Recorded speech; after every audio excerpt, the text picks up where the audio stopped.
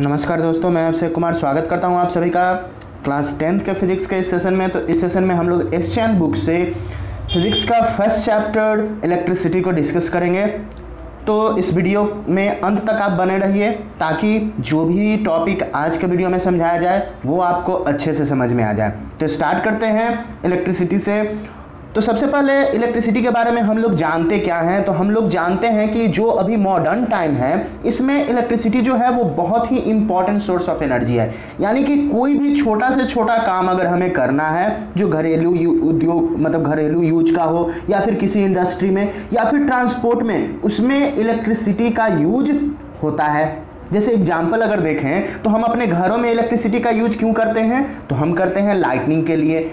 Fan चलाने के लिए, उसके बाद हीटिंग पर्पस के लिए, अब तो कूलिंग पर्पस के लिए भी यूज़ होने लगा है, जैसे कि एयर कंडीशन वगैरह है, वो इलेक्ट्रिसिटी से ही चलता है। और अगर इंडस्ट्री में देखा जाए तो बहुत सारे जो मशीन्स हैं, उनको चलाने के लिए इलेक्ट्रिसिटी का यूज़ होता है। और अगर ट्रांसपोर्ट सिस्टम में देखा जाए तो ट्रांसपोर्ट सेक्टर में होता क्या है इलेक्ट्रिसिटी से इलेक्ट्रिक ट्रेन चलाए जाते हैं। और अभी तो जो ई रिक्शा वगैरह आ गया है, उसे भी जो चार्ज करना होता है तो उसे हम किस चीज़ से चार्ज करते हैं? तो इलेक्ट्रिसिटी से ही। यानी कि हमारे लाइफ में, हर एक सेक्टर में इलेक्ट्रिसिटी का बहुत ज़्यादा यूज़ है। मतलब इलेक्ट्रिसिटी के बिना अब जो हमारा लाइफ है, वो संभव है ही नहीं। अगर कहा जाए कि इलेक्ट्रिसिटी के बिना हमारा जो लाइफ है, वो पॉसिबल नहीं है। मतलब इतना आसानी से जो हमारा लाइफ जो है वो इतना ईजिली चल रहा है, वो बिना इलेक्ट्रिसिटी के हो ही नहीं सकता है। तो इस चैप्टर में हम लोग जो पॉइंट को डिस्कस करेंगे,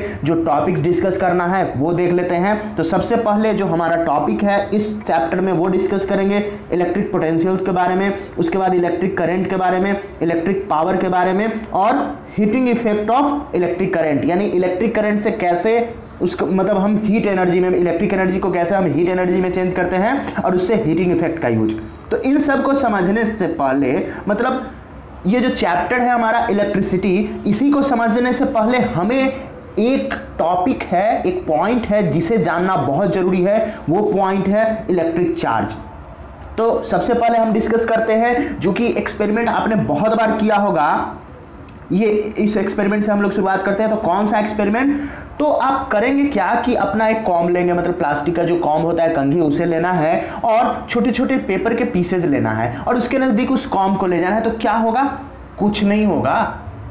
लेकिन जब उसी कॉम्ब को हम अपने ड्राई हेयर पे रब करते हैं और उसके बाद उस कॉम को उस टीनी पीसेज और पेपर्स जो है मतलब पेपर के जो छोटे छोटे टुकड़े हैं, उसके पास अगर ले जाएँगे, तब क्या होगा? तो जो भी पीसेज ऑफ़ पेपर्स हैं, वो उस कॉम की ओर अट्रैक्ट होंगे।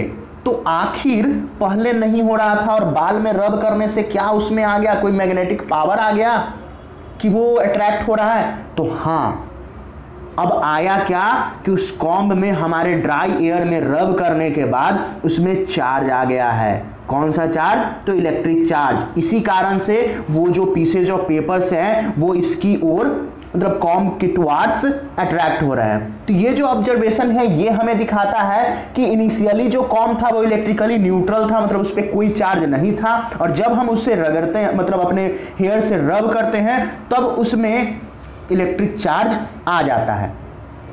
तो और भी हम देखेंगे, अब इलेक्ट्रिक चार्ज जो कॉम में है, वो क्या किया कि इलेक्ट्रिक फोर्स अप्लाई किया। टीनी से जो पेपर्स पे जिसके कारण वो अट्रैक्ट हुआ, अब इसी तरीके से और भी कुछ एक्सपेरिमेंट हैं जो कि हम लोगों ने परफॉर्म किया होगा कि ग्लास रड को लेते हैं और उसे रब करते हैं हम सिल्क क्लॉथ पे। तो ये यहाँ भी इलेक्ट्रिक चार्ज आएगा उस ग्लास रड में। और अगर इबोनाइट रड को लेते हैं और उसे हम उलन क्लॉथ पे रब करेंगे तो यहाँ भी उसके पास एबिलिटी आ जाएगा कि वो स्मॉल पीसेज ऑफ़ पेपर को अट्रैक्ट करे। यानी एबिलिटी आया कहाँ से? तो क्योंकि उसमें इलेक्ट्रिक चार्ज आ गया, इस कारण इसी एबिलिटी के कारण वो उस टीनी पीसेज ऑफ़ पेपर्स को अपनी ओर अट्रैक्ट कर रहा है। अब हम लोग देखते हैं कि ये जो जो एक्सपेरिमेंट किए हैं, उसके बाद अब चार्ज के टाइप्स के बारे में मतलब चार्ज को कितने टाइप्स में बांटा गया है। तो ऐसा एक्सपेरिमेंट से प्राप्त हुआ कि जो चार्ज है इलेक्ट्रिक चार्ज वो दो तरीके के हैं। एक जो है, वो पॉजिटिव चार्ज है दूसरा जो है, वो निगेटिव चार्ज तो हमने अपने सुविधा के लिए किया क्या कि जो भी चार्ज ग्लास रड पे हुआ था तो ग्लास रड को हम लोगों ने किस चीज़ से रगड़ा था? तो सिल्क क्लॉथ से मतलब रब किया था। तो उस पर जो चार्ज आया, उससे पॉजिटिव चार्ज हमने मान लिया। मतलब ग्लास रड जिसे हमने सिल्क क्लॉथ पे रब किया, उस पर पॉजिटिव चार्ज आ गया। और जिस, जो इबोनाइट रड को हमने रब किया था उलेन क्लॉथ पे, उस पर मान लिया गया कि इस पर निगेटिव चार्ज है। तो अपने कन्वीनियंस के लिए ये हम लोगों ने मान लिया और वही अभी तक मांगते आ रहे हैं। अब इंपॉर्टेंट प्रॉपर्टी इलेक्ट्रिक चार्ज का होता क्या है, वो हम जानते हैं तो दो इसका इंपॉर्टेंट प्रॉपर्टी है, वो देख लेते हैं। तो फ़र्स्ट जो प्रॉपर्टी है, वो है क्या कि जो भी अपोजिट चार्ज होते हैं, या फिर जिसको हम कह सकते हैं अनलाइक चार्ज वो एक दूसरे को अट्रैक्ट करते हैं। जैसे अगर एक पॉजिटिव चार्ज है, दूसरा निगेटिव चार्ज है तो वो एक दूसरे को अट्रैक्ट करेगा। सेम केस है मैग्नेट जैसा। मैग्नेट में होता क्या है कि अगर दोनों पोल जो मैग्नेट का दोनों पोल है, अगर नॉर्थ पोल को हम नॉर्थ पोल की ओर लाते हैं तो वो अट्रैक्ट नहीं करेगा। मतलब नॉर्थ पोल और साउथ पोल रहेगा तो वो अट्रैक्ट करेगा। और यहाँ भी वही है इलेक्ट्रिक चार्ज के केस में भी कि अगर अपोजिट चार्ज रहेगा, यानी एक पॉजिटिव चार्ज दूसरा निगेटिव चार्ज तो एक दूसरे को अट्रैक्ट करेगा। तो इस तरीके से भी हम समझ सकते हैं कि जो दोनों है, जैसे कि हमारा इगोनाइट रड और ग्लास रड था, उस पर अलग अलग चार्ज था, क्योंकि एक दूसरे को वो अट्रैक्ट कर रहा है। और सेकेंड जो प्रॉपर्टी है, वो क्या है? इलेक्ट्रिक चार्ज का, कि सिमिलर चार्ज या फिर जिसे हम लाइक चार्ज कहेंगे, वो एक दूसरे को रिपेल करेगा मतलब दूर धक्का देगा। तो यहाँ पे क्या हो सकता है कि पॉजिटिव चार्ज पॉजिटिव चार्ज को रिपेल करेगा और निगेटिव चार्ज जो है वो निगेटिव चार्ज को, यानी कि दो अगर चार्ज पार्टिकल्स हैं मतलब दो अगर हम रड ही ले लिए और दोनों अगर हम ले लिए ग्लास रड ही और दोनों को रब किए थे सिल्क क्लॉथ से तो दोनों में कौन सा चार्ज होगा? तो दोनों में अगर पॉजिटिव चार्ज है, दोनों को अगर नज़दीक लाएँगे तो एक दूसरे को वो क्या करेंगे? रिपेल करेंगे। लेकिन वही अगर हम एक इवोनाइट रड ले लेते हैं, जो कि रब करने से उसमें चार्ज आ गया है ग्लास रड ले लेते हैं, जिसको कि सिल्क क्लॉथ से हमने रब किया तो उसमें भी चार्ज आ गया। अब दोनों को एक नज़दीक ले जाएँगे तो वो एक दूसरे को अट्रैक्ट करेंगे। यानी कि दोनों पे अपोजिट चार्ज है, तब अट्रैक्ट होंगे, और अगर सेम चार्ज रहेगा तो एक दूसरे को रिपेल करेंगे। अब हम जानते हैं कि ये जो इलेक्ट्रिक चार्ज है, उसका ऐसा यूनिट क्या होता है? मतलब हम उसे किस चीज़ में मेजर करते हैं? उसका यूनिट क्या लेते हैं? तो उसका यूनिट होता है कुलम यानी इलेक्ट्रिक चार्ज का यूनिट कुलम और इसे हम कैपिटल सी लेटर से डिनोट करते हैं। अब वन कुलम जो क्वांटिटी होता है इलेक्ट्रिक चार्ज का उसे हम क्या कर सकते हैं? तो उसे हम कहेंगे क्या? कि one coulomb is that quantity of electric charge which exerts a force of 9 into ten to power 9 newtons on an equal charge placed at a distance of one metre from it यानी कि एक coulomb quantity charge का तब generate होगा तब exert हो, तब होगा जब वो जो चार्ज है मतलब किसी अगर इलेक्ट्रिक किसी ऑब्जेक्ट पे वो चार्ज है, वो 9 into ten to power nine newton का फोर्स एग्जर्ट करता है। जब दोनों चार्ज जो हैं, वो एक दूसरे के डिस्टेंस मतलब एक दूसरे से वन मीटर अपार्ट हैं। यानी कि दोनों जो चार्ज है हमारा, मान लीजिए कि एक पॉजिटिव निगेटिव भी हो सकता है, या फिर दोनों का दोनों पॉजिटिव भी हो सकता है, दोनों का दोनों निगेटिव भी हो सकता है। तब वो जब एक दूसरे पे फोर्स लगाया nine into ten to power nine newton का, जब अगर दोनों सेम चार्ज है तो कैसा फोर्स लगाएगा? रिपल्सन यानी एक दूसरे को इतने फोर्स से अगर धक्का देगा, और वन मीटर अगर पार्ट है, ये दूर रखा हुआ है, और इतने फोर्स से अगर धक्का देगा, तब उसमें one coulomb charge electric charge generate होगा।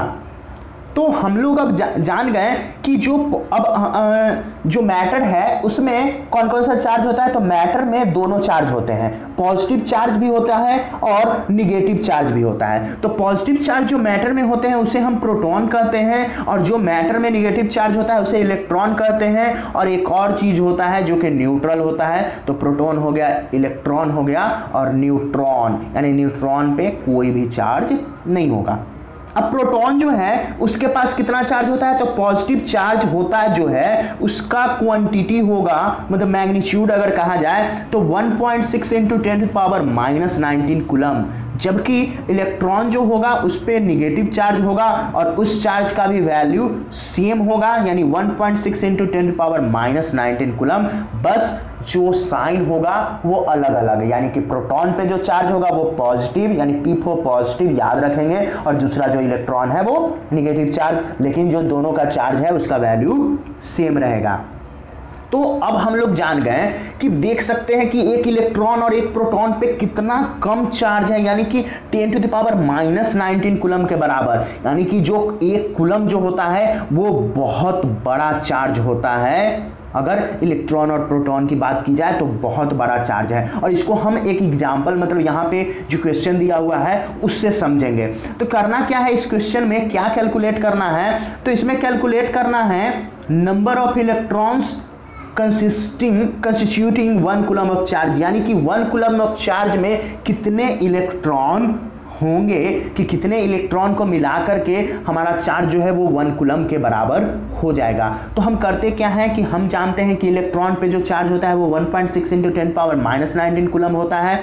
और यदि ये चार्ज है, और हमें जो नंबर ऑफ़ इलेक्ट्रॉन्स है वो कितना है? वन।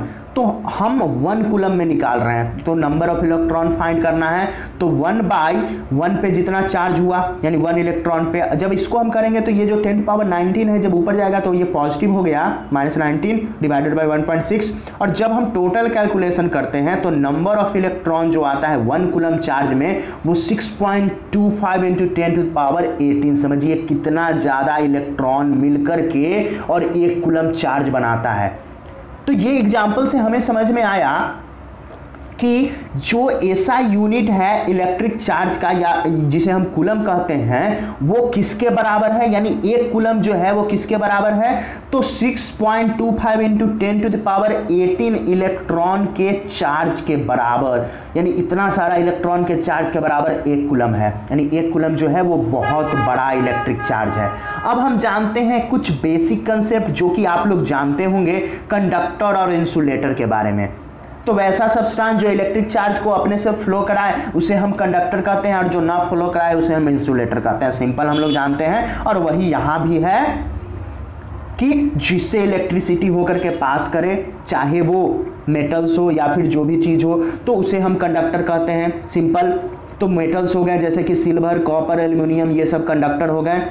और कुछ मेटल एलवाय भी होते हैं, जैसे नाइक्रोम हो गया मैग्नीन हो गए कॉन्स्टेंटैन हो गए, इनका यूज़ हम लोग करते हैं heating element of electric appliances तो वैसे इलेक्ट्रिक अप्लायंसेज जिनके जिनसे हम हीट का यूज़ करते हैं, जैसे हमारा आयरन हो गया, या फिर इलेक्ट्रिक हीटर हो गया, और भी इलेक्ट्रिक इंडक्शन हो गया, इन सब में, इन सब जो मेटल एलवाय हैं, इनका यूज़ होता है मतलब ये क्वाइल का यूज़ करते हैं उसमें. तो ये सब भी कंडक्टर हैं। लेकिन मतलब जो एलॉय हैं, ये भी कंडक्टर हैं। लेकिन इनमें खास बात क्या है कि इनका इलेक्ट्रिकल कंडक्टिविटी जो है वो बहुत कम है प्योर मेटल से। तो इस कारण इन्हें हम यूज़ करते हैं एज अ हीटिंग एलिमेंट मतलब इसमें से तो इलेक्ट्रिक चार्ज फ्लो हो रहा है मतलब करंट फ्लो हो रहा है, लेकिन उतना वो कंडक्ट उसे नहीं कर रहा है। तो वो जो करंट है वो किसमें ट्रांसफ़र हो जाएगा? तो यहाँ हीट में ट्रांसफ़र हो जा रहा है। अब एक नन मेटल है जो कि हमारा कार्बन है। तो कार्बन का ग्रेफाइट फॉर्म ये भी एक कंडक्टर है। अब कंडक्टर कोई चीज़ क्यों होता है? क्यों वो इंसुलेटर होता है? इसे हम थोड़ी देर में जानते हैं। तो एक चीज़ और, जो हमारा ह्यूमन बॉडी है, वो भी एक बहुत अच्छा कंडक्टर है। यानी कि अगर हम पकड़ते हैं, इलेक्ट्रिसिटी का जो एंड है, अगर उसे हम छुएँगे तो हमें बहुत ज़ोर से झटका लगेगा, क्योंकि कंडक्टर है, हमारे बॉडी से वो इलेक्ट्रिसिटी पास करता है। अब देख लेते हैं कि इंसुलेटर मतलब हम लोग किस तरीके से बनाते हैं। तो यहाँ पे कंडक्टर जो है, जैसे कि ये वायर है हमारा, इसमें जो बीच से जो कॉपर वायर रहता है, वो कंडक्टर्स होता है और उसके बाहर जो प्लास्टिक कवर होता है, वो इंसुलेटर होता है। अब उसकी, उसी तरीके से ये थ्री पिन प्लग है, जिसको हम ये प्लग कहते हैं थ्री पिन प्लग इसमें जो मेटल का जो पिन है, वो होता है कंडक्टर और जो भी प्लास्टिक का इसका कवर है जिसे हम पकड़ के मतलब उसको सॉकेट में लगाते हैं, वो हो जाता है इंसुलेटर। ताकि अब इंसुलेटर क्यों इसमें दिया हुआ रहता है? ताकि हमें शॉक न लगे। क्योंकि इंसुलेटर से तो इलेक्ट्रिसिटी पास होगा ही नहीं तो हमें शॉक नहीं लगेगा।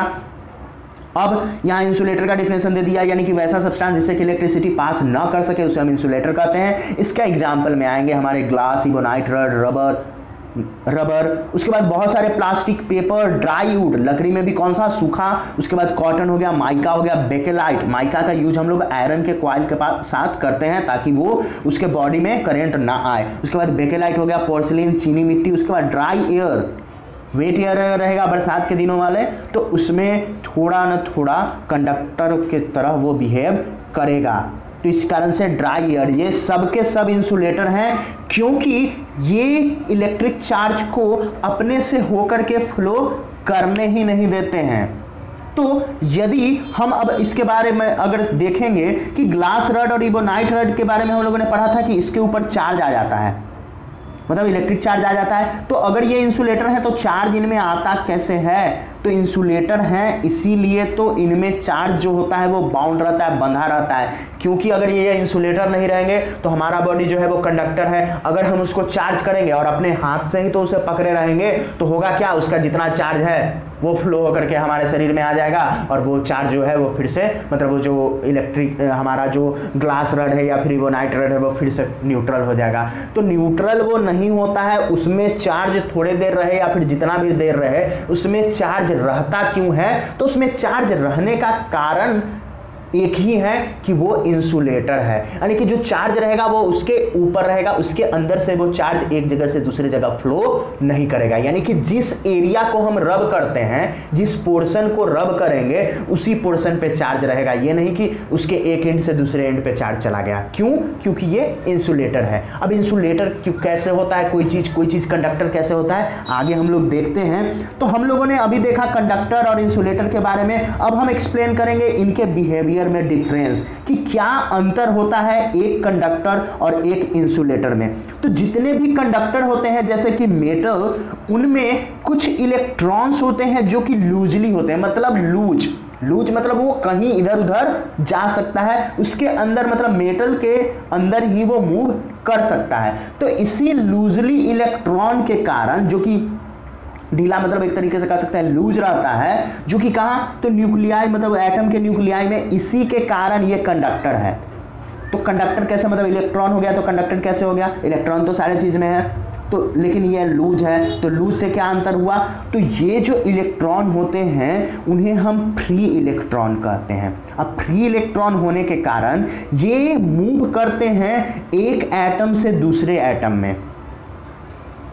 वो थ्रू आउट द कंडक्टर मतलब जिस भी मेटल के हैं मतलब जो भी कंडक्टर है, उसमें एक एटम से दूसरे एटम मतलब एक अगर कंडक्टर कोई है, हमारा जैसे कि कोई रड है या फिर कोई वायर है तो उसमें बहुत सारे एटम से वो मिलकर बना होगा तो उसका जो इलेक्ट्रॉन है, वो एक एटम से दूसरे एटम मूव कर सकता है, जब वो लूजली हेल्ड हो। और अधिकतर जो हमारा मेटल्स है, उसमें लूजली हेल्ड इलेक्ट्रॉन्स रहते ही रहते हैं।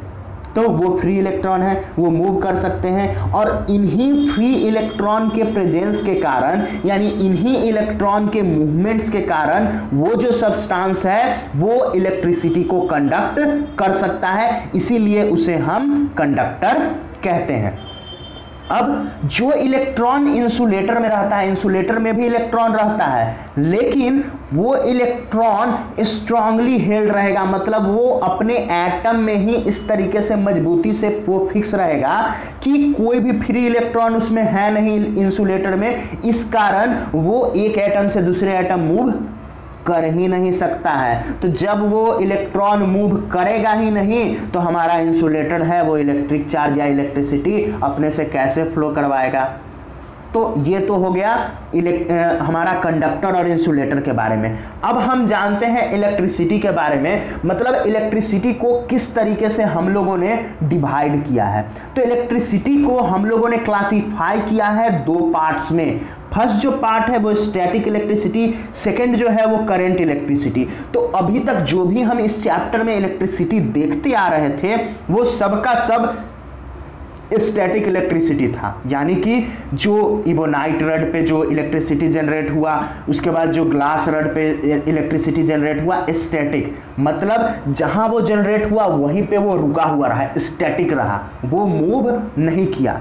लेकिन इस चैप्टर में हमें सबसे ज़्यादा जानना है करंट इलेक्ट्रिसिटी के बारे में मतलब वैसा इलेक्ट्रिसिटी जो कि फ्लो करे, एक जगह से दूसरे जगह फ्लो करे। तो हम लोगों ने जान लिया स्टैटिक इलेक्ट्रिसिटी में होता क्या है कि जो चार्ज होते हैं, वो रेस्ट पे होते हैं स्टेशनरी होते हैं, वो मूव नहीं करते हैं। तो जैसे कि ग्लास रड में हम लोगों ने देखा था इबोनाइट रड में देखा था, ये सब के सब स्टैटिक इलेक्ट्रिसिटी थे। और एक जो स्टैटिक इलेक्ट्रिसिटी हम लोग हमेशा देखते हैं, अभी जो बरसात का मौसम है, उसमें जो लाइटनिंग होता है, यानी कि जो बिजली चमकती आकाश में रेनी सीज़न में, इसमें भी स्टैटिक इलेक्ट्रिसिटी ही रहता है। अब हम लोग जानेंगे करंट इलेक्ट्रिसिटी लेकिन ये स्टैटिक इलेक्ट्रिसिटी जो है, उसका बहुत ज़्यादा पावर रहता है। इस कारण ये होता क्या है? कि, और ये आता क्यों है? क्योंकि हम लोगों ने जाना कि ड्राई जो एयर है, वो क्या है? तो ड्राई एयर इंसुलेटर है, लेकिन जो वेट एयर है, वो इंसुलेटर नहीं है। और रेनी सीज़न में होता क्या है कि हमारा जो एयर है, वो गीला हो जाता है बारिश के कारण, इस कारण वो इलेक्ट्रिसिटी नीचे आ जाता है। तो इसी कारण थंडर स्ट्रॉम भी होता है, बिजली गिर, इसी कारण से गिरता भी है। मतलब बोला जाता है कि हाँ आज बिजली गिर गया तो इसी कारण से क्योंकि जो एयर है हमारा, वो एज अ कंडक्टर बिहेव करता है। तो कंडक्टर बिहेव किया तो जितना भी एयर मतलब जहाँ तक वो रहेगा कंडक्टर के जैसा बिहेव करेगा, वहाँ तक वो इलेक्ट्रिसिटी पास करेगा तो स्टैटिक इलेक्ट्रिसिटी वहाँ से जो जनरेट किया, वो नीचे तक फ्लो हो जाता है। अब करेंट इलेक्ट्रिसिटी जिसे हम लोगों को इस चैप्टर में पढ़ना है, उसमें क्या होता है कि जो इलेक्ट्रिक चार्ज होते हैं, वो मोशन में होते हैं। यानी कि यहाँ इलेक्ट्रिक करेंट प्रोड्यूस होगा। तो यहाँ इलेक्ट्रिक चार्ज हम लोग देखते कहाँ है? तो जो भी हमारे घरों में जो करंट इलेक्ट्रिसिटी होता है, जो इलेक्ट्रिसिटी होता है, वो करंट इलेक्ट्रिसिटी है और इस चैप्टर में हम इसी करंट इलेक्ट्रिसिटी को डिस्कस करेंगे। तो सबसे पहले करंट इलेक्ट्रिसिटी में हमें क्या जानना है? इलेक्ट्रिक पोटेंशियल को। तो इलेक्ट्रिक पोटेंशियल को हम जानेंगे। तो इलेक्ट्रिक पोटेंशियल होता क्या है, इसका डिफिनेशन समझते हैं। उसके बाद इसे हम कैसे डिफाइन करेंगे, ये होता क्या है, सब जानेंगे। तो जब कोई स्मॉल पॉजिटिव टेस्ट चार्ज को प्लेस किया गया किसी इलेक्ट्रिक फ़ील्ड में, यानी कि अगर कहीं पे इलेक्ट्रिक फ़ील्ड है मतलब कोई हमारा क्या है चार्ज है तो उस चार्ज के इफ़ेक्ट के कारण उसका मतलब जहाँ तक, जितने दूर तक प्रभाव रहेगा मतलब जितने एरिया तक वो किसी भी चार्ज को मतलब सेम चार्ज को वो रिपेल कर सकता है, अगर उस एरिया में आए, या फिर अपोजिट चार्ज को जिस एरिया में आने के बाद वो अट्रैक्ट करता है। जैसे हमारा मैग्नेट रहता है ना तो मैग्नेट का एक एरिया रहता है, जिसे हम मैग्नेटिक फ़ील्ड कहते हैं मतलब उस एरिया में हम किसी आयरन नेल को लाएँ या फिर दूसरे मैग्नेट को लाएँ तो वो क्या करता है? अट्रैक्ट कर लेता है। या फिर अगर उसके सेम पोल को हम लाते हैं तो वो रिपेल करता है। सेम चीज़ यहाँ भी होता है क्या? कि एक इलेक्ट्रिक फ़ील्ड जनरेट हो जाता है। तो जब कोई स्मॉल पॉजिटिव चार्ज को हम किसी इलेक्ट्रिक फ़ील्ड में रखेंगे और ये इलेक्ट्रिक फ़ील्ड जनरेट किसके कारण होगा? तो किसी दूसरे चार्ज के कारण। तब वो एक फोर्स एक्सपीरियंस करेगा।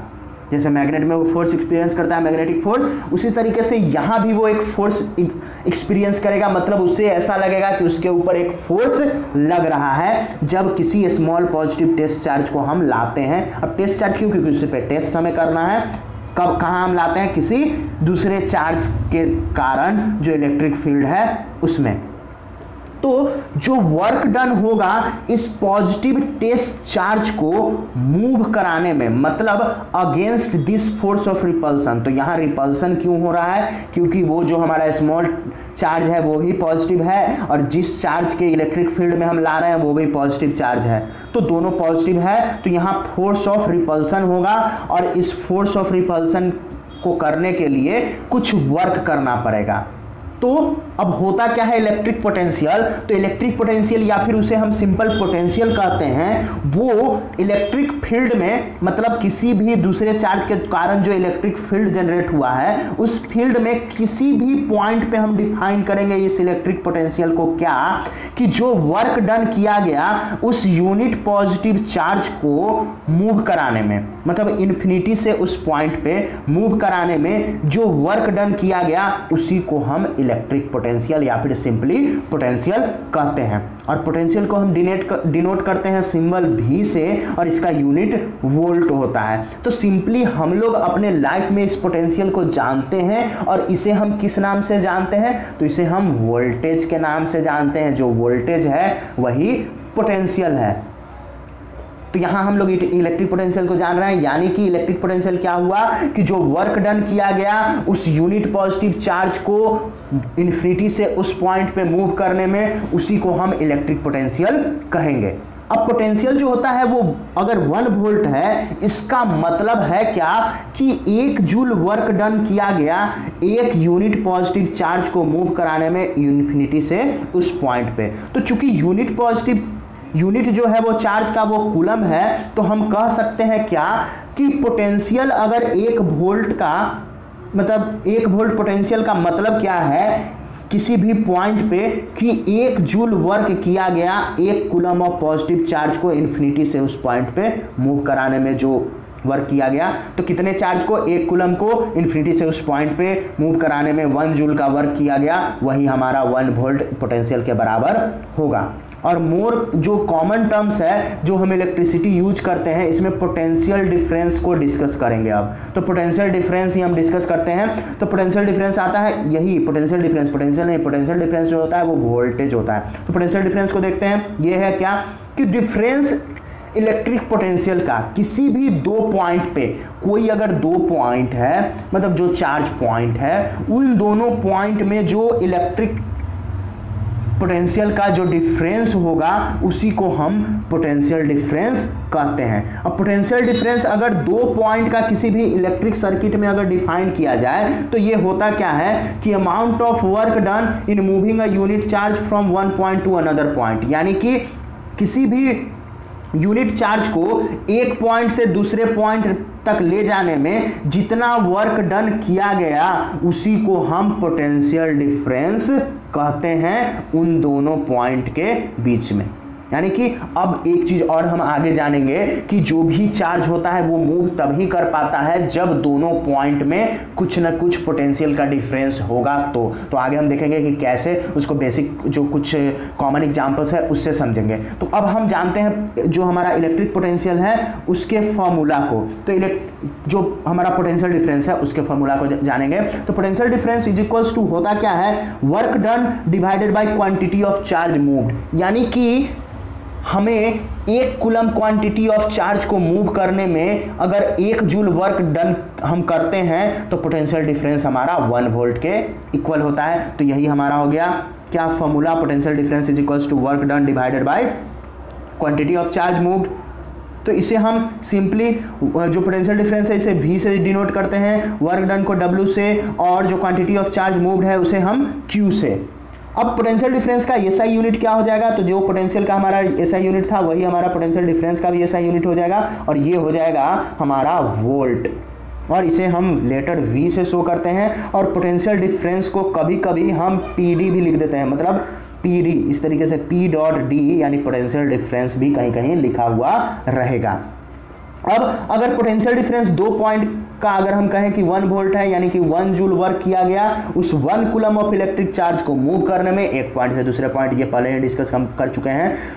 तो ये हो गया। अब पोटेंशियल डिफरेंस को मेजर करने के लिए हमारे पास एक इंस्ट्रूमेंट होता है जिसका नाम है वोल्ट मीटर तो वोल्ट मीटर से हम पोटेंशियल डिफरेंस को मेजर करते हैं और जब भी इलेक्ट्रिक सर्किट हो हमारा तो उसमें हम वोल्ट मीटर को पैरेलल अटैच करते हैं। मतलब देखिए, यहाँ पे पैरेलल है, ये है और ये सर्किट है तो मतलब पैरेलली हम अटैच करेंगे, ना कि सीरीज़ में मतलब पैरेलल कनेक्शन होगा।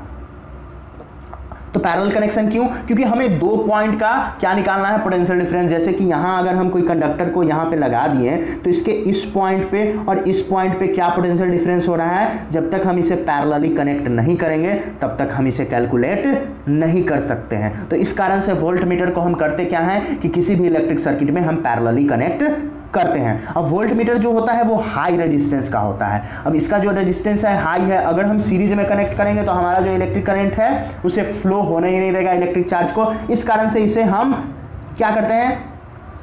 हाई रेजिस्टेंस होने के कारण पैरेलल में कनेक्ट करते हैं। और इसे हम लोग इस टर्म को वोल्ट या फिर वोल्टेज के नाम से भी जानते हैं। और वोल्टेज जो है, वो ही पोटेंशियल डिफरेंस का एक दूसरा नाम है। तो अब हमें पोटेंशियल डिफरेंस अगर निकालना होगा तो हमारे पास फॉर्मूला है potential difference is equals to work done by charge move यानी कि यहाँ पे हमारा तीन क्वांटिटी है। अगर इसमें से कोई भी एक क्वांटिटी निकालना हो और अगर दो क्वांटिटी हमें दिया हुआ हो तो हम इजिली कैलकुलेट कर सकते हैं इन न्यूमेरिकल को इस फॉर्मूले के हेल्प से। तो अब आगे हम देखते हैं। और भी जो क्वेश्चन हैं, वो उसमें डिफिनेशन है किसी किसी क्वेश्चन में और किसी क्वेश्चन में न्यूमेरिकल है। तो अभी तक जो हमने दो फॉर्मूला पढ़ा था वर्कडन का और पोटेंशियल डिफरेंस का, इन्हीं दो फॉर्मूले से हमें क्या करना है? यहाँ कैलकुलेट कर लेना है। अब हम जानते हैं इलेक्ट्रिक करंट को कि इलेक्ट्रिक करंट होता क्या है? तो इलेक्ट्रिक करंट को अब हम डिफाइन करेंगे होगा क्या? कि जब दो चार्ज बॉडी जब अलग अलग पोटेंशियल डिफरेंस से कनेक्टेड होंगे मतलब अलग अलग पोटेंशियल से कनेक्टेड होंगे दो चार्ज बॉडी किसी मेटल वायर के थ्रू तब इलेक्ट्रिक चार्ज जो फ्लो करेगा उस बॉडी मतलब इलेक्ट्रिक चार्ज अब फ्लो कैसे करेगा? तो इलेक्ट्रिक चार्ज जो फ्लो करेगा, वो उस बॉडी से फ्लो करेगा मतलब जिसका हाइयर पोटेंशियल हो, वहाँ से लोअर पोटेंशियल की ओर इलेक्ट्रिक चार्ज जो है वो फ्लो करेगा। तब तक फ्लो करते रहेगा जब तक कि सेम पोटेंशियल दोनों में ना आ जाए। जैसे कि अगर वाटर फ्लो हम अगर करें, दो टैंक को अगर हम ऐड कर देते हैं एक सिंगल पाइप से और एक में पानी ज़्यादा है, दूसरे में अगर पानी कम है तो वो तब तक कम जिधर जो पानी है, उधर वो फ्लो होते रहेगा जब तक कि दोनों टैंक में बराबर पानी ना आ जाए। उसी तरीके से यहाँ भी इलेक्ट्रिक पोटेंशियल में भी दो चार्ज बॉडी में अगर डिफरेंट इलेक्ट्रिक पोटेंशियल है तो तब तक इलेक्ट्रिक चार्ज फ्लो होते रहेगा जब तक कि हाइयर और लोअर पोटेंशियल का जो दोनों का है पोटेंशियल वो सेम ना हो जाए। जैसे कि अगर हम करते क्या है कि अगर कोई चीज़ जैसे गर्म है तो गर्म को अगर हम ठंडे में रख मतलब ठंडे अगर हम मिला देते हैं, मान लीजिए कि कोई बर्तन है वेसल उसमें हम गर्म पानी रखें और उसको किसी ठंडे पानी वाले बर्तन में रख दिए जैसे बकेट में ही हम डाल दिए तो होगा क्या कि जब तक अगर कुछ देर हम छोड़ दिए तो जब तक दोनों का टेम्परेचर सेम नहीं होगा, तब तक वो ट्रांसफ़र होते रहेगा। तो होगा क्या कि, क्या जो गर्म वाला जो चीज़ है वो ठंडा हो जाएगा और जो ठंडा चीज़ है, वो थोड़ा उसका टेम्परेचर टेम्परेचर राइज हो जाता है, वो गर्म हो जाता है। तो क्यों? क्योंकि यहाँ मतलब क्या हुआ? डिफरेंस के कारण वो फ्लो हुआ। तो सेम कंडीशन हमारे इलेक्ट्रिक चार्ज के साथ भी होता है। मतलब वो फ्लो करेगा कैसे? तो हाइयर पोटेंशियल से लोअर पोटेंशियल की ओर।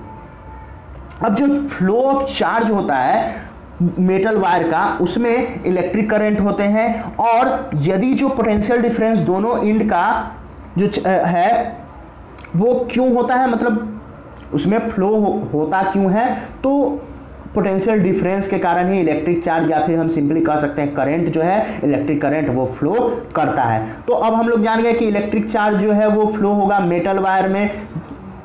जब क्या होगा कि किसके कारण? तो इलेक्ट्रॉन के कारण यानी निगेटिव चार्ज इलेक्ट्रॉन के कारण इलेक्ट्रिक करंट फ्लो करता है। तो अब हम इस चीज़ को दिमाग में रखते हुए आगे हम अगर डिफाइन करें इलेक्ट्रिक करंट को तो क्या इसका डिफिनेशन होगा? तो मेन जो डिफिनेशन है इलेक्ट्रिक करंट का वो यही होगा कि the electric current is a flow of electric charge और हम उस इलेक्ट्रिक चार्ज को क्या कह सकते हैं? Electron in a conductor such as a metal wire मतलब किसी कंडक्टर जैसे कि मेटल वायर में इलेक्ट्रिक करंट का फ्लो किस कारण होता है? तो इलेक्ट्रिक करंट का फ्लो होता है जब उसमें इलेक्ट्रिक चार्ज या फिर इलेक्ट्रॉन इलेक्ट्रॉन का फ्लो होगा तभी।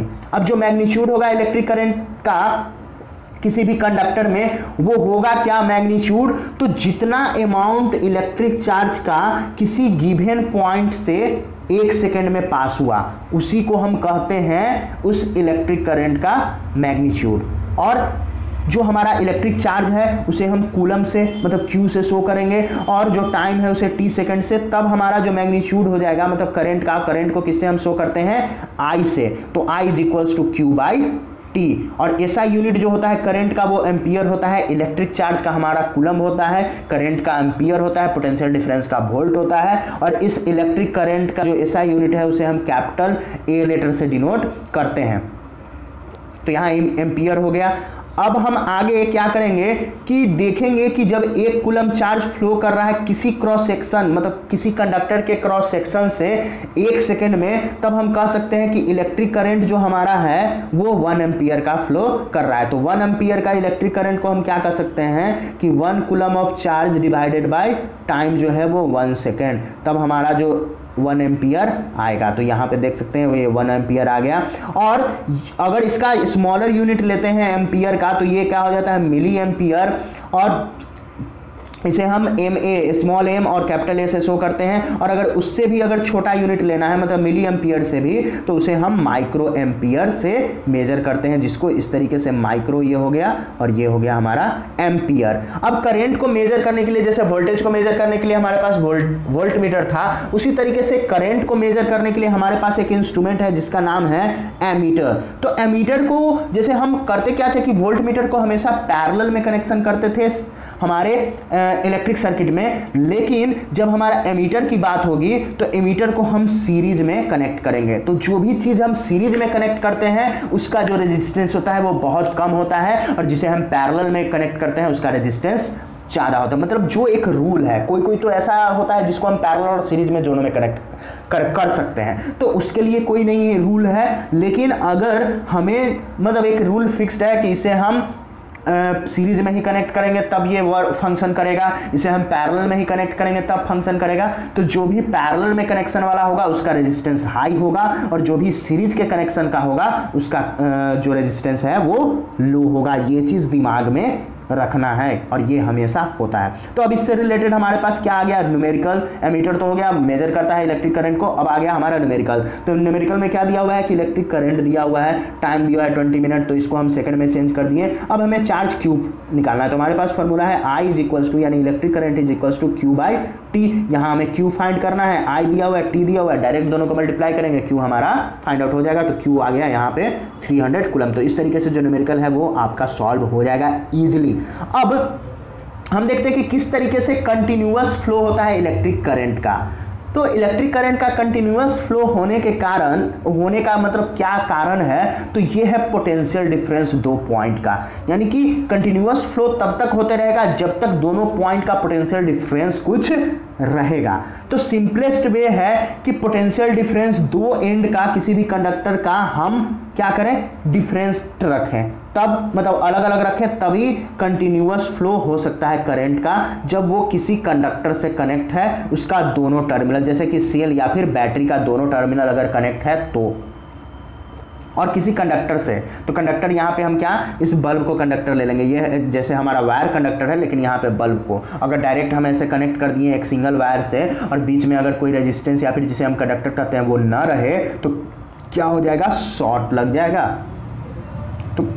इस कारण हम क्या करते हैं, बीच में एक कंडक्टर लगा देते हैं। अब बैटरी या फिर सेल में ये जो पोटेंशियल डिफरेंस है, वो किस कारण होता है और ये कंटिन्यूअस क्यों बना हुआ रहता है तो उसके अंदर केमिकल रिएक्शन होता है सेल के अंदर या फिर बैटरी जो है उसके अंदर। और वो जो है, वो पोटेंशियल डिफरेंस को मेंटेन करके रखता है, दोनों टर्मिनल में। इसी कारण वो इलेक्ट्रिक चार्ज का फ्लो होता है। अब एक सिंपल जो छोटा वाला हमारा जो बैटरी है, जैसे पेंसिल बैटरी हो गया या फिर टॉर्च में जो हमारा बैटरी लगता है, उसका जो पोटेंशियल डिफरेंस होता है वो 1.5 वोल्ट का पोटेंशियल डिफरेंस को वो मेंटेन करके रखता है। और इसके दो टर्मिनल होते हैं, एक हमारा पॉजिटिव टर्मिनल दूसरा निगेटिव टर्मिनल तो ड्राई सेल को जब हम टॉर्च के बल्ब से कनेक्ट करेंगे with the help of copper wire तो पोटेंशियल डिफरेंस के कारण इलेक्ट्रिक करंट फ्लो होगा उस कॉपर वायर में और हमारा जो बल्ब है, जो कि उसे हम कनेक्ट किए हुए हैं, वो ग्लो करेगा, जलेगा। और इस करंट को मेंटेन करने के लिए एक्सटर्नल सर्किट में सेल जो है, वो करता क्या है? किस चीज़ को वो खर्च करता है? तो उसके अंदर जो केमिकल है, उस केमिकल एनर्जी को वो खर्च करता है और पोटेंशियल डिफरेंस वो बनाए रखता है।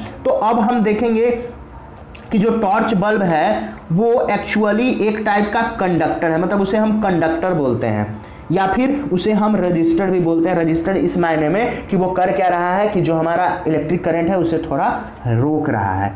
तो अब हम ऊपर हम लोगों ने जान लिया किस चीज़ के बारे में। तो पोटेंशियल डिफरेंस के बारे में हमने जाना। वोल्टेज या फिर जिसे हम वोल्टेज कहते हैं सेल या बैटरी का। तो ये कितना होता है? 1.5 वोल्ट अब हम जानेंगे कि इसी के, अब हम लोग जान गए हैं कि इसी के कारण करंट फ्लो होता है किसी भी सर्किट में। अब डायरेक्शन ऑफ़ इलेक्ट्रिक करंट यानी इलेक्ट्रिक करंट का डायरेक्शन क्या होगा?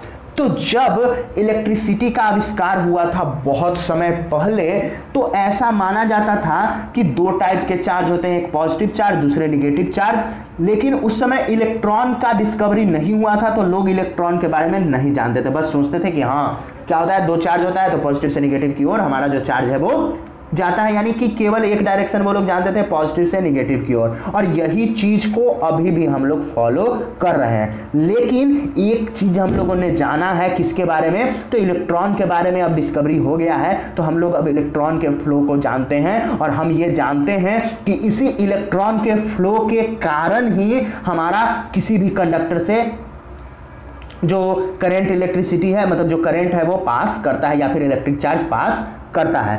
तो जो कन्वेंशन डायरेक्शन है इलेक्ट्रिक करंट का, वो लिया गया है पॉजिटिव टर्मिनल मतलब किसी भी सेल या बैटरी की अगर बात करें तो उसके पॉजिटिव टर्मिनल से निगेटिव टर्मिनल के थ्रू और वो भी बाहर के सर्किट से मतलब अंदर से नहीं, अंदर सेपरेशन रहता है। मतलब जो अगर हम सेल में देख रहे हैं कि जो तो दो टर्मिनल है पॉजिटिव और निगेटिव टर्मिनल अगर वो दोनों एक दूसरे से सेपरेट नहीं रहेगा किसी चीज़ से तो वो क्या होगा? मतलब खुद में वो फ्लो होकर के वो चार्ज उसमें जो भी है, वो खत्म हो जाएगा। मतलब जो भी अंदर ही रिएक्शन होकर के वो पूरा का पूरा खत्म। तो इस कारण से उसका जो फ्लो होता है वो बाहर वाले सर्किट से, यानी कि बाहर जो हम कॉपर वायर से कनेक्ट करते थे, उससे। तो इस तरीके से सर्किट डायग्राम जो होगा, उसमें कनेक्टिंग वायर जो होगा, वो उसका पॉइंट कैसे रहेगा? तो जब भी हम एरो बनाएँगे तो एरो रहेगा पॉजिटिव टर्मिनल से निगेटिव टर्मिनल की ओर। जैसे यहाँ पे फिगर में हम लोग देख सकते हैं, ये पॉजिटिव टर्मिनल है तो यहाँ से ये एरो इधर की ओर जा रहा है निगेटिव टर्मिनल की ओर। तो इस तरीके से इलेक्ट्रिक करंट का फ्लो होता है। अब जो कन्वेंशन डायरेक्शन है करंट का, अगर हम लोग देखें कि एक्चुअल जो फ्लो होता है, वो किस चीज़ का होता है? तो इलेक्ट्रॉन का एक्चुअल फ्लो होता है। हम लोग जानते हैं कि इलेक्ट्रॉन का एक्चुअल फ्लो होता है, चूँकि क्या होता है, जिसमें करंट होता है। और ये किस टाइप किधर से होगा? तो इलेक्ट्रॉन में हमारा निगेटिव चार्ज तो निगेटिव चार्ज होगा कहाँ? निगेटिव टर्मिनल में। और ये निगेटिव टर्मिनल से पॉजिटिव टर्मिनल तक आता है। यानी कि जो हम कन्वेंशनल करंट यानी कि करंट का जो हम लोगों ने डायरेक्शन मान लिया था, उसके जस्ट अपोजिट करंट का एक्चुअल फ्लो होता है। यानी कि करंट का फ्लो किसके कारण होता है? तो इलेक्ट्रॉन के कारण। तो इलेक्ट्रॉन का फ्लो निगेटिव से पॉजिटिव अब किस तरीके से हम लोग जानेंगे कि किस तरीके से जो करंट फ्लो करता है किसी भी वायर में? तो यहाँ पे हम देख सकते हैं कि ये हमारा कोई वायर है, ये जो फिगर है, इसमें अगर हम किसी सर्किट में इसे अटैच नहीं किए हुए हैं तो ये जो मेटल वायर है, उसमें हम लोग ने जाना क्या था शुरू में? कि इलेक्ट्रॉन जो होते हैं, वो लूजली पैक्ड या फिर फ्री होते हैं। तो यहाँ देख सकते हैं कि इलेक्ट्रॉन इधर उधर इधर उधर मूव कर रहा है। तो इस तरीके से कहाँ होता है कंडक्टर में। और जैसे ही हम इसे करेंगे क्या कि किसी इलेक्ट्रिक सर्किट में अगर हम इसे कनेक्ट कर दिए तो जो भी इलेक्ट्रॉन है वो एक अरेंज्ड मैनर में हो जाएगा। मतलब था क्या? अगर समझें कि पहले कोई टीचर नहीं थे तो बच्चे ग्राउंड में इधर उधर घूम रहे थे, खेल रहे थे। मतलब पीटी का अगर समय था, और जैसे ही पीटी टीचर आए, सभी बच्चे लाइन में खड़े हो गए। और एकदम मतलब टीचर के डर से लाइन में खड़े हो गए तो वैसे ही, जैसे ही हम सेल से कनेक्ट किए मतलब किसी सर्किट से इस कंडक्टर को कनेक्ट किए तो वैसे ही इलेक्ट्रॉन जो है वो बिल्कुल लाइन में खड़ा हो गया। तो जब मेटल वायर जो था वो कनेक्टेड नहीं था तो इलेक्ट्रॉन जो थे वो इधर उधर मूव कर रहे थे और जैसे ही हम उसे कनेक्ट किए सोर्स से मतलब सोर्स ऑफ़ इलेक्ट्रिसिटी जैसे कि सेल से या फिर किसी बैटरी से तो यहाँ सेल है। अब सेल और बैटरी में डिफरेंस क्या है कि सेल जो होता है वो सिंगल होता है और बैटरी जो होता है वो एक से अधिक सेल का कॉम्बिनेशन यानी कि दो हो सकता है और दो से अधिक जितना भी सेल एक साथ अगर रहेगा तो उसे हम बैटरी कहते हैं। तो चूँकि जो इलेक्ट्रॉन है, वो निगेटिवली चार्ज है और वो स्टार्ट कर देता है मूव करना निगेटिव एंड से पॉजिटिव एंड वायर का तो इस कारण से जो फ्लो होगा इलेक्ट्रॉन का, वो किधर से होगा? तो ये निगेटिव टर्मिनल से पॉजिटिव टर्मिनल की ओर, यानी कि इधर जो है वो इलेक्ट्रॉन का फ्लो होगा। और अगर चार्ज का फ्लो लिया जाए तो वो किधर से होता है? पॉजिटिव से निगेटिव हम लोगों ने मान लिया था अपने सुविधा के लिए। अब हम लोग देखते हैं इलेक्ट्रिक सर्किट्स के बारे में। तो यहाँ तो इलेक्ट्रिक सर्किट जो है वो हम डायग्राम से देख रहे हैं मतलब इस तरीके से हमारा डायग्राम बल्ब बना हुआ है बैटरी सेल बना हुआ है, उसके बाद स्विच है। तो दो तरीके का कंटिन्यूस मतलब दो तरीके का कंडीशन होता है इलेक्ट्रिक सर्किट का। तो सबसे पहला कंडीशन क्या है कि जब अगर कंटिन्यूस कंडक्टिंग पाथ हमें अगर बनाना है मतलब ताकि कंटिन्यूस जो है, हमारा जो चार्ज है इलेक्ट्रिक चार्ज वो फ्लो होते रहे वायर से, और दूसरे रेजिस्टेंस से, जैसे कि इलेक्ट्रिक बल्ब हो गए स्विच हो गए और जो दोनों टर्मिनल है सेल का या फिर बैटरी अगर हम लिए हैं तो बैटरी का तो इसे हम सर्किट कहते हैं। मतलब कंटिन्यूस कंडक्टिंग पाथ जिसमें होना क्या चाहिए? मिनिमम एक सेल, एक इलेक्ट्रिक बल्ब एक स्विच और एक कंडक्टिंग वायर तभी कम से कम मिनिमम रिक्वायरमेंट है किसी भी इलेक्ट्रिक सर्किट का इतना चीज़। तो यहाँ इलेक्ट्रिक सर्किट हम उसे कहेंगे जब ये सारे चीज़ रहेंगे तो।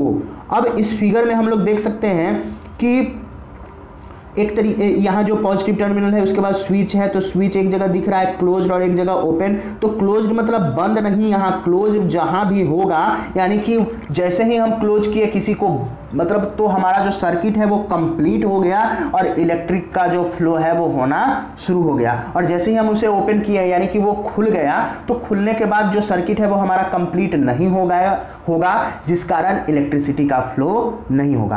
अब कुछ सिंबल्स के बारे में जानते हैं, जो इलेक्ट्रिक कंपोनेंट्स के जो सिंबल हैं, जिनका कि हम लोग यूज़ करेंगे। यानी हर जगह इस तरीके से डायग्राम नहीं बनाते रहेंगे, हम कुछ सिंबल का यूज़ करेंगे। जैसे सेल है तो सेल को इस तरीके से एक साइड पॉजिटिव दूसरे साइड निगेटिव अगर जो बैटरी है तो बैटरी जैसे कि यहाँ दो सेल का बैटरी है। बैटरी अधिक भी हो सकता है तो ये हो गया। अब जो हमारा मोबाइल फ़ोन है, उसे हम सेल फ़ोन इसलिए कहते हैं क्योंकि उसमें सिंगल सेल होता है। एक पॉजिटिव टर्मिनल एक निगेटिव टर्मिनल तो इसलिए वो हमारा सेल है सेल फ़ोन अगर कनेक्टिंग वायर तो ऐसे सिंपल हम लाइन ड्रॉ कर देंगे, वो कनेक्टिंग वायर हो गया।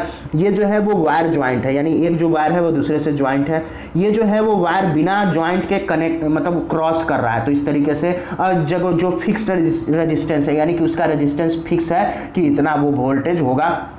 इतना वो करंट को रजिस्ट करेगा तो ये इस तरीके से हम लोग ऐसे मतलब ऐसे ऐसे रजिस्टेंस को बनाते हैं। अगर वही वेरिएबल रजिस्टेंस जिसको कि हम लोग रियो स्टेट के नाम से जानते हैं, उसका सिंबल ऐसे होता है एमीटर इस तरीके से बीच में ए लिख देंगे प्लस माइनस वोल्ट मीटर इस तरीके से प्लस माइनस रहेगा, बीच में वोल्ट रहेगा गैल्वेनोमीटर में कोई भी टर्मिनल मतलब पॉजिटिव निगेटिव टर्मिनल नहीं रहेगा, लेकिन एक सर्कल में बीच में जी रहेगा। अब ओपन स्विच हम लोग देख लेते हैं तो इस तरीके से ओपन है, यानी सर्किट कंप्लीट नहीं है। क्लोज स्विच इस तरीके से दो सिंबल से हम लोग बता सकते हैं। अब बल्ब को दिखाना है तो ऐसे दोनों सिंबल से हम लोग इलेक्ट्रिक बल्ब या इलेक्ट्रिक लैंप लिखा हुआ है, उसे हम शो कर सकते हैं। तो ये हम लोगों ने जान लिया। अब बैटरी जो है वो कॉम्बिनेशन है, दो या दो से अधिक सेल का। अब वेरिएबल रेजिस्टेंस जो है, उसे हम लोग रियो स्टेट के नाम से जानते हैं। और रियो स्टेट जो है तो वेरिएबल रेजिस्टेंस यानी कि उसके ऊपर जो एरो हमें दिख रहा था, यानी कि इस तरीके से जो था, और इसके ऊपर जो एरो था, इस टाइप से, ये जो है इसको वैरी कर सकते हैं। मतलब इधर ही मूव कर सकते हैं या फिर इधर मूव कर सकते हैं। तो मान लीजिए कि अगर इधर से ये हमारा जा रहा है, इधर अगर फ्लो है इलेक्ट्रिक करंट का तो अगर हम इधर मूव किए इसको तो रजिस्टेंस जो है वो कम हो जाएगा। और अगर जैसे जैसे हम पीछे इसको ले जाएँगे तो रजिस्टेंस जो है वो बढ़ता जाएगा। यानी कि इतने दूर वाले पाथ से हमें पास करना है। तो ये हो गया हमारा वेरिएबल रेजिस्टेंस इस तरीके से रियो स्टेट को हम लोग वेरिएबल रेजिस्टेंस कहते हैं। अब सर्किट डायग्राम इलेक्ट्रिक सर्किट का जिसे हम रिप्रेजेंट करते हैं तो यहाँ देख सकते हैं, इस तरीके से हम सर्किट डायग्राम से, यानी कि सबका हम फिगर नहीं बनाते रहेंगे सर्किट डायग्राम से रिप्रेजेंट करेंगे। तो इस तरीके से हम लोग देख सकते हैं यहाँ, किस तरीके से ये जो क्लोज सर्किट है, यानी कि ये जो बंद है तो ये बल्ब जो है हमारा ग्लो कर रहा है। और यहाँ ओपन सर्किट है तो ये बल्ब ग्लो नहीं कर रहा है। तो ये हो गया।